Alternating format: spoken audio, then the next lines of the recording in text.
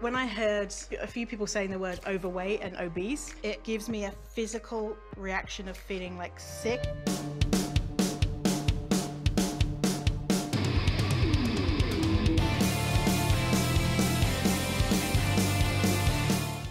Hey everyone, welcome back to the channel. My name is Wholesome Vigilante, and we are on episode 5 of Fitness Discourse.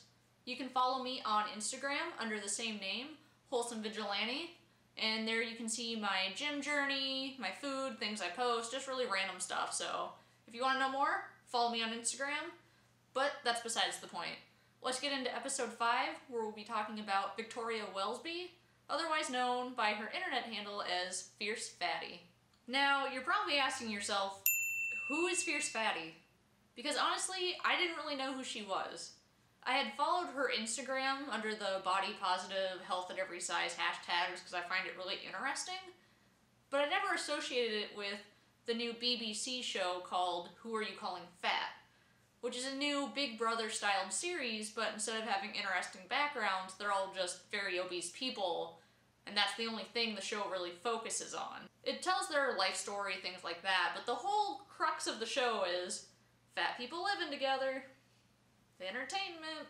Victoria's main role on the show is being the radical self-love, fat acceptance person, and thus becomes the very controversial figure that likes to say very confrontational things.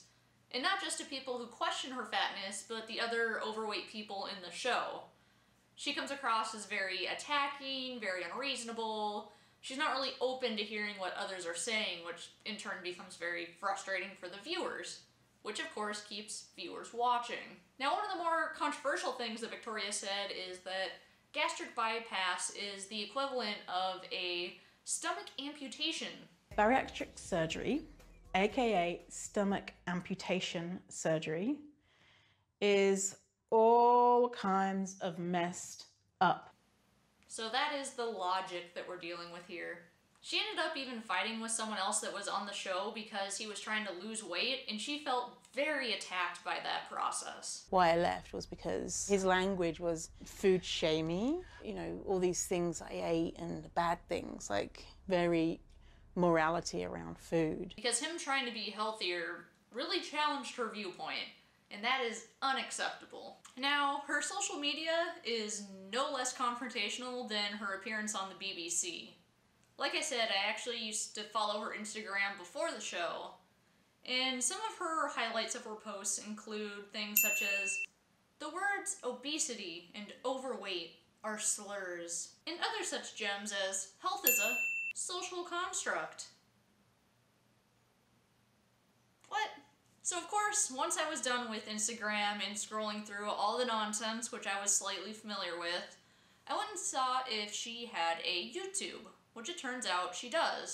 It, of course, is Fierce Fatty Victoria Welsby. She's very good at maintaining that brand.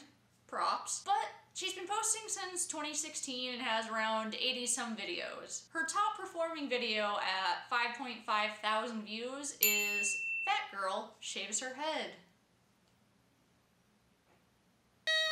That's a lot of hair. Quality content. Now, Fierce Fatty has her own website under the same name, and it's everything you expected and just a little bit more. Her intro into her website is, Hi, I'm Victoria, and I'm an anti-diet, pro-fatty, body acceptance coach, TEDx speaker, best-selling author, and the badass babe behind Fierce Fatty. I've said this before, but I have a huge problem with the term anti-diet.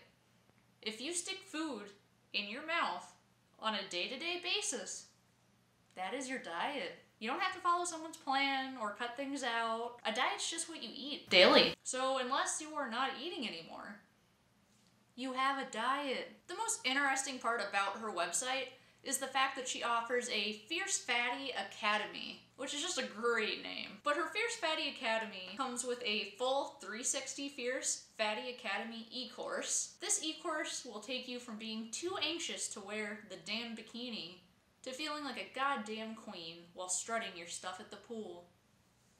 So first off, this course is not for men, and Victoria being anti-diet is also for people that don't eat. we're off to a great start. It also follows the Full Fierce framework. This will take you step by step through each stage of your confidence journey. I will guide you. You just need to take the first step. And lucky for you, I was able to find this Full Fierce framework, which I'll show here. Just look at it. That's fun, right? The fact that the base core of the framework is feelings should tell you everything you need to know. There's no logic or science or programming, it's just feelings. Because feelings are the most important thing. Don't worry, it gets better.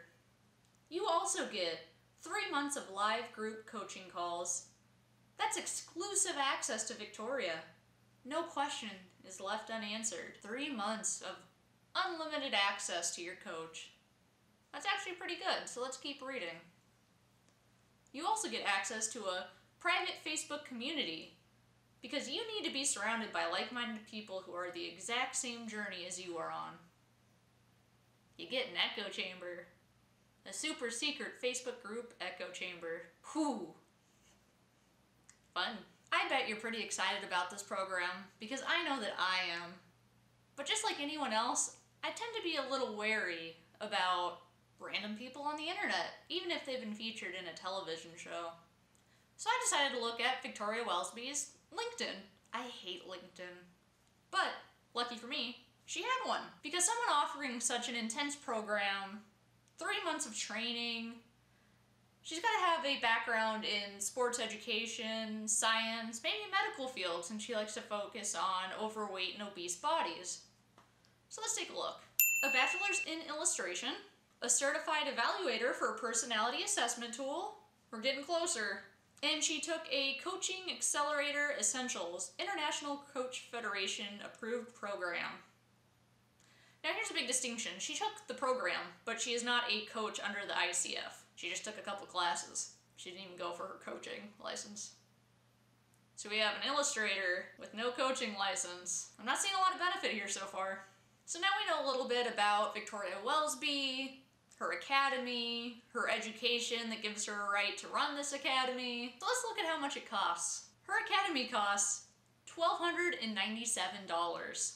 $1,297 for a one-time payment, because don't worry if you can't front that right away.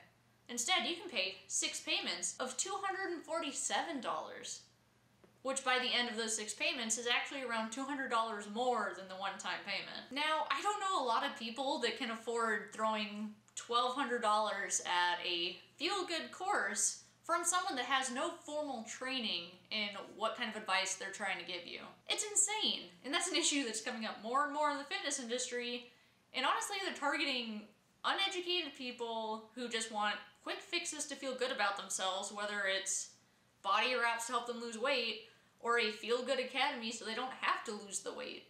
They're both very different ends of the spectrum, but it's the same core issue. People are being used and targeted, and that's not okay. Because there are people out there that don't have the time or resources to look into these people. So if someone like Victoria can go around and charge these exorbitant prices for a program that isn't going to do anything for you, and now now she has a large platform through BBC Two to help push this. Because now people are Googling her name. Now people are asking who she is. And they're funneling those people right to her website. Fierce Fatty says she's uplifting fat women, go body positivity, but really all she's doing is targeting insecure people in order to get their decent amount of money. Because I know I couldn't throw $1,200 at something like that. But there are people out there that are willing to pay that because they want to feel good about themselves. And that's sad. They shouldn't have to. But this is definitely not a solution. This is a problem. And the fact that BBC gave her a platform is a bigger problem. I'll say it again. It's not okay. That's all I have for you guys today on Victoria Welsby, aka Fierce Fatty. Like I said, she's a controversial figure. She's not afraid to tell how she feels and what she thinks others should feel. She, I'm sure, will continue to be a controversial figure on the BBC show Who Are You Calling Fat? And I'm sure she will continue to make new programs for her website. Which, again, is unfortunate, and she really doesn't have the training to be doing this. So let me know what you guys think. Do you agree with Victoria? Do you not? Do you think this is all blown out of proportion? Her social media numbers are low, and I kind of hope it stays that way so she doesn't become an influential figure such as Tess Holliday or the fat sex therapist, Sonalee. If you guys have anyone else you want me to talk about, please let me know. Leave a comment down below. And I hope you guys have a good day. Follow me again on Instagram if you want. I'm probably going to stop doing my Twitter because I have no idea how to use it. But again, let me know what you guys think. Have a good night. Remember to be better and do better.